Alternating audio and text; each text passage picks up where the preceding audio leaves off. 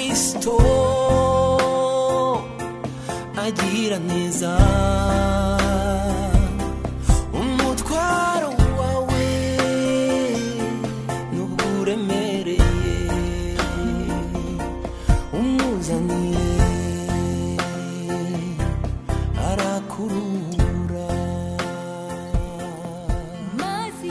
nanone yesu nashimwe bene data nshuti z'umusaraba. Nk'uko twabibonye rero mu cyumweru eh, turangije twarebeye hamwe uburyo ki umunyakwizera bimworohera gusenga. Ariko tuza gusoza tuvuga ko byo biba byiza gusenga imana nka data kandi ugasenga wumva ufite uburenganzira nk'ubw'umwana imbere ya se. Niko twabibonye ku munsi w'ejo watambutse. Uyu munsi rero ndagira ngo eh, dutangire turebere hamwe amwe mu mazina ya yesu. Wibuke ko yesu uriya watugize umuvandimwe we. Muri kumuririmbyi yaririmbye ngo yesu watugize umuvandimwe we. Tujye gusoma muri muri matayo igice cyaho cya mbere umurongo wa makumyabiri na gatatu tuvuge ku mazina ya yesu. Uyu munsi turavuga ku izina ryitwa eh, izina ryitwa imanweri izina ryitwa imanweri imanweri turebe icyo bivuga. Reka dusome ijambo ry'imana uko ritubwira.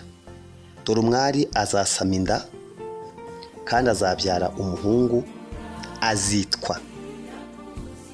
Imanweri bisobanura ngo imana iri kumwe natwe.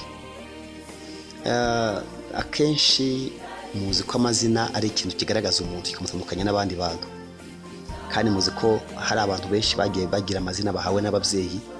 Amazina asa nk'akojeje isoni cyangwa amazina agaragaza uko bababyaye batekereza cyangwa ibihe bababyariyemo umwana yakura agasanga afite izina eh, ri- ririmo incyuro ririmo ibi- n'ibibazo iwabo bari bafite icyo gihe.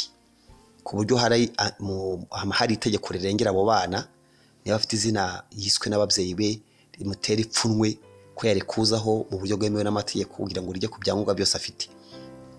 Bishatse kuvuga ko izina na nyiraryo basa. Eh, impamvu abantu banga ko iryo zina yarigumana ni uko abatinya ko eh, ibirivugwamo bizamubaho. Ni ukuvuga rero ko izina rifite ubutware rifite ububasha.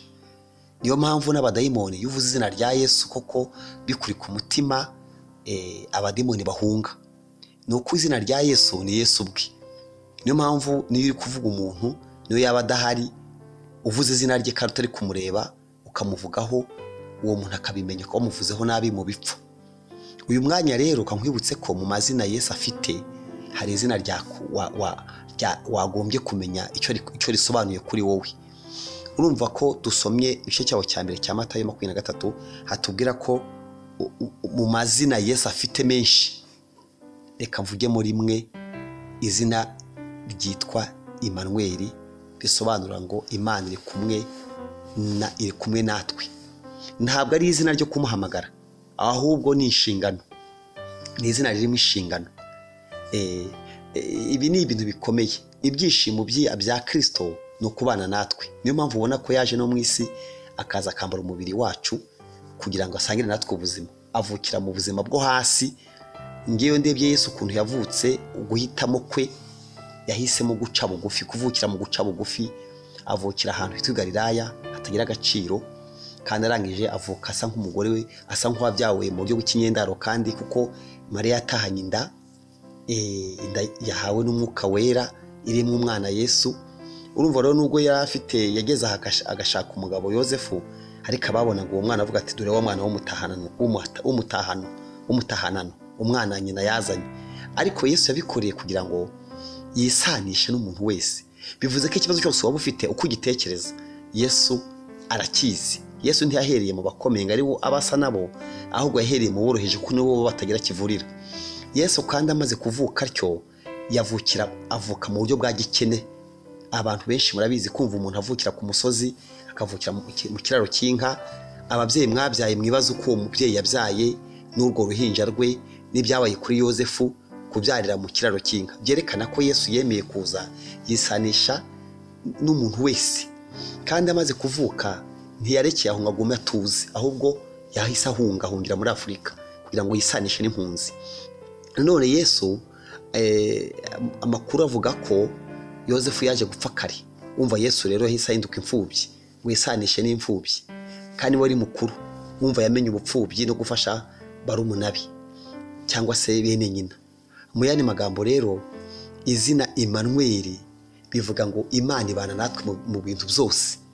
Ntabwo ari imana ibana natwe ku cyumweru mu rusengero ntabwo ari imana ibana natwe eh, cya gihe tu- tubyibwira. Ahubwo izina ryayo ni imanweri nyemerera umenye iryo jambo. Nkubwire ko imana ibana nawe. Kandi bikubere uko wizeye.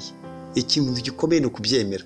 Ngewe rwose uvugana nawe nabaze kubona kubona ukuntu imana ibana natwe mu bintu bya buri munsi mu buzima bwa buri munsi.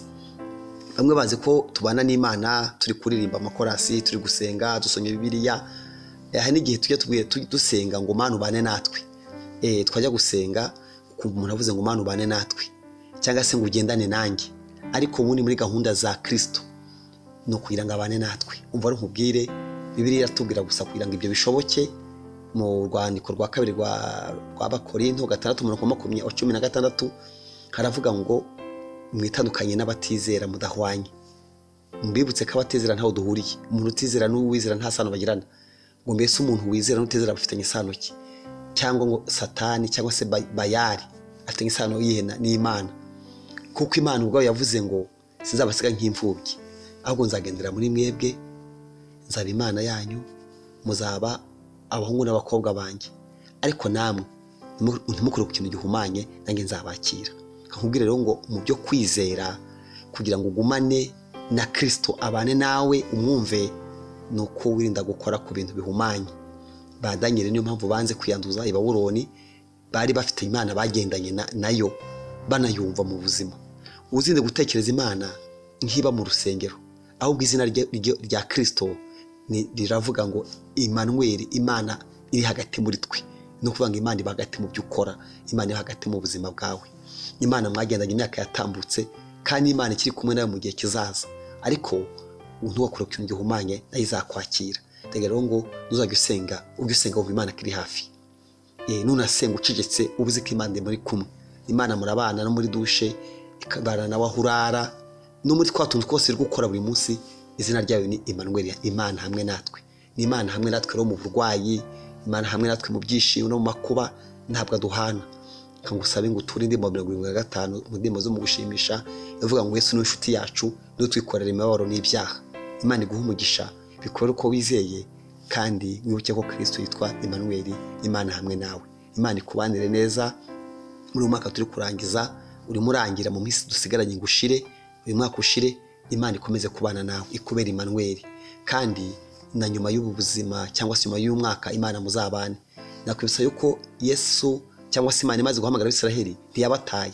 Baragendanaga. Icyabatandukije n'imana ni ukutayizera. Wibuke ko umutizera imana dushobora kuyinezeza. Bikubere ko wizeye umenya izina rya yesu uko rivuga ngo ni imana hagati muri twebwe. Imana ibana natwe mu buzima bwa buri munsi. Bikubere ko wizeye no ku munsi w'ejo.